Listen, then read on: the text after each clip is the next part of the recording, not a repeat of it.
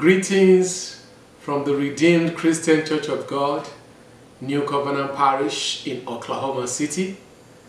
This is the Open Heavens devotional for June 20th, 2019.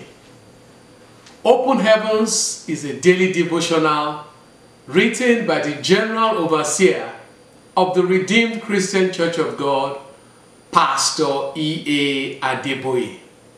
And the title for today is More Than Conquerors. Yes, we are more than conquerors. The memory verse is 1 John chapter 5, verse 5, which reads, Who is he that overcometh the world? But he that believeth that Jesus is the Son of God. So, who are those that overcome?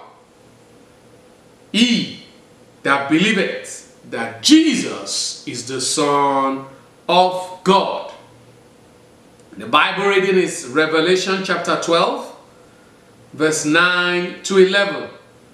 Revelation 12, 9 to 11, which reads So the great dragon was cast out, that serpent of old, called the devil and Satan, who deceives the whole world. He was cast to the earth, and his angels were cast out with him. Then I heard a loud voice saying in heaven, Now salvation and strength, and the kingdom of our God, and the power of his Christ have come. For the accuser of our brethren, who accused them before our God day and night, has been cast down. And they overcame him by the blood of the Lamb and by the word of their testimony. And they did not love their lives to the death. We can see again there, there was an overcoming, even of the devil. And that is what we are looking at today, that we are more than conquerors. What does it mean to conquer? It means to overcome and have dominion over a person, a territory, or a kingdom. So that's the meaning of overcoming and conquering.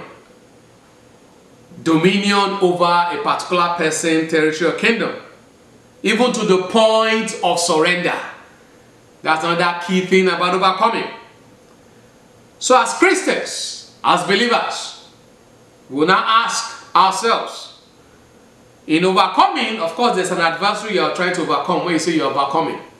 So who is our adversary? Well, even in Ephesians 6 chapter 12, it already spells it out that we wrestle not against flesh and blood, but against principalities, against powers, against rulers of darkness of this world, against spiritual wickedness in high places.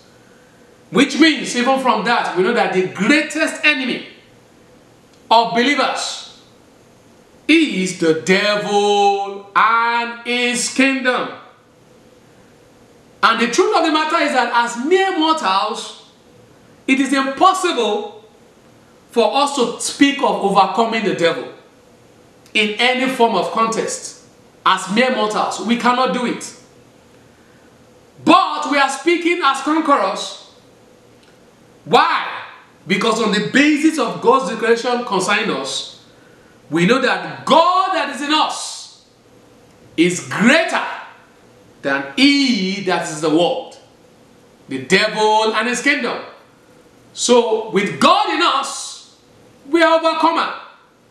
But with natural ourselves, we cannot overcome.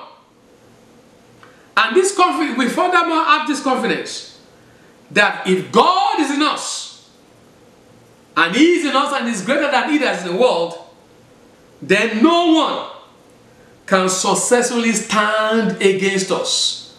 So long God is for us, no one, no power, no principality, no rulers of darkness can stand against us. That's the blessed assurance that we have. And why are we more than conquerors? We are more than conquerors through the love of Jesus. And the great thing to know, and that should give us confidence that we are more than conquerors again, is the fact that Jesus Christ, He is the ultimate conqueror and overcomer. He is the ultimate con conqueror and overcomer, and we, His children, can follow in that footsteps of being overcomers and conquerors. Because He already fought for us, and through His conquest, we also inherit that in the ability to conquer. Now we ask ourselves again, who can we learn from concerning this overcoming? We've already mentioned already. And that is our Lord Jesus Christ. And he did it in two spectacular ways. And those two ways we'll look at right now. Two spectacular ways that Jesus Christ triumphed and conquered the devil. The first one was the temptations that the devil came to give him. Our Lord and Savior Jesus Christ overcame this crucial contest. He gave the devil what in boxing terms you can say a technical knockout through the power of God's word. Because in every temptation that the devil brought at that crucial moment, our Lord and Savior Jesus Christ the ultimate conqueror and overcomer, replied with, It is written. So he used the word in that case to overcome. That is one aspect. Now, the second aspect, again, that we look at, and that we looked at today in the devotional, was the fact that the devil orchestrated a sham trial which led to the crucifixion of our Lord and Savior Jesus Christ, but he did not know that Christ will totally destroy him through his subsequent death and resurrection. So another great way that our Lord and Savior Jesus Christ overcame through his death and his resurrection.